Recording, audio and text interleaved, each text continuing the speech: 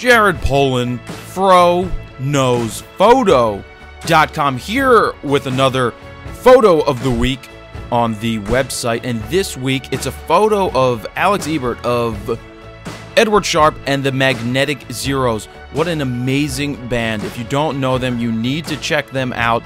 Such great music, such great energy, and it's just fun and awesome sounding stuff. I love a lot of instruments, and they have a ton of instruments on stage. So it's tough for me to select one photo to talk about, but I selected this photo. Uh, I, it, it's part of a larger photo story. I like to tell stories of the day. Okay, that's start to finish. From the time I got there to the time I leave and get home, I like the photos to tell a story. But being that we select one photo for the week, I selected this one, and at some point I will post all of the photos from this day and give you a full rundown of how and how I shot everything and why I shot everything the way I did and the story of the day. So what did I like about this photo? Well, I pre-visualized what was going to happen.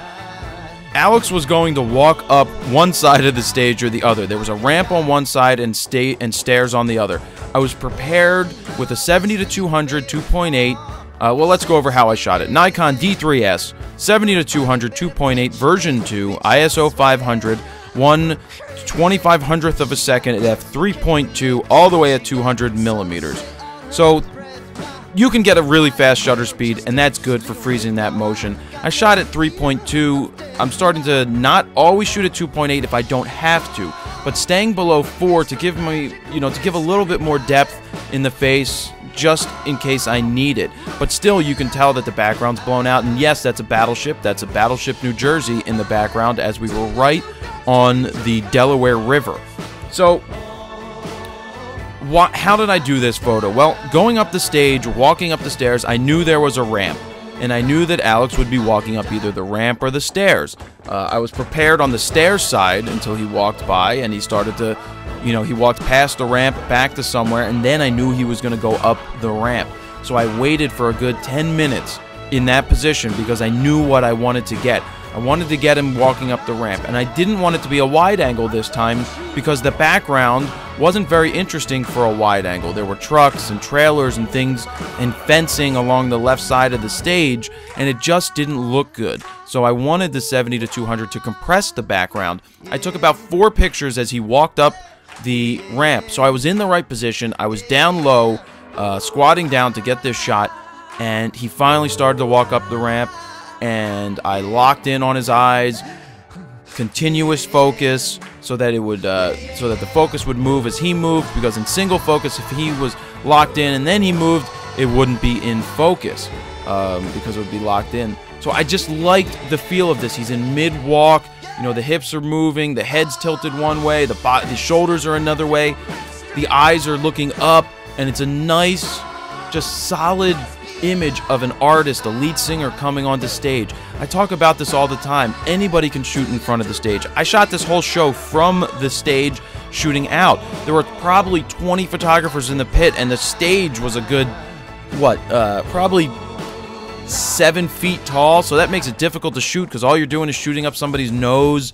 And, you know, photography, this type of photography, you want to see the crowd. And you're going to see that in the photos uh, that are coming up when I do show all of the photos from the day, you're going to see the crowd and, and how I shot from the stage. Just remember, anybody can shoot from the pit, but it takes something else to shoot from backstage or on stage. And yes, you can do it also. You can work your way there.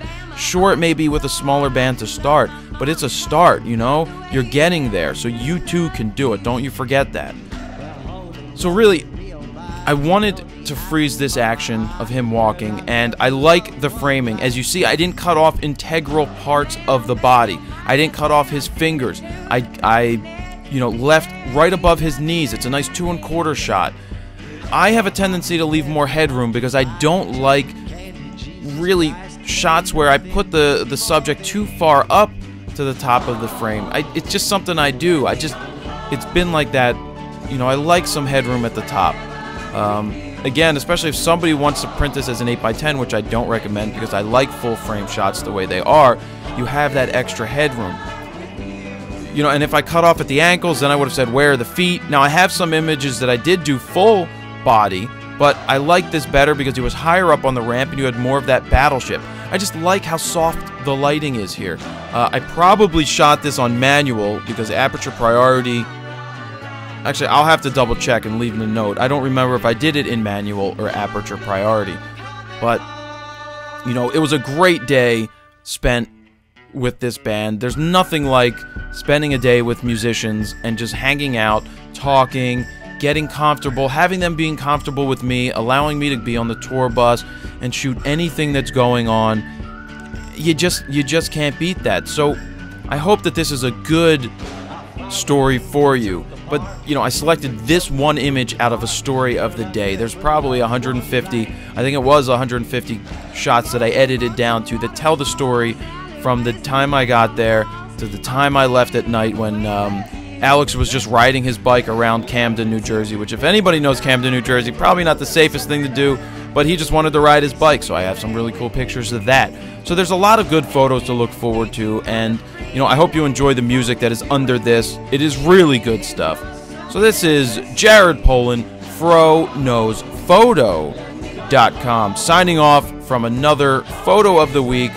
Edward Sharpe and the Magnetic Zeros. Enjoy.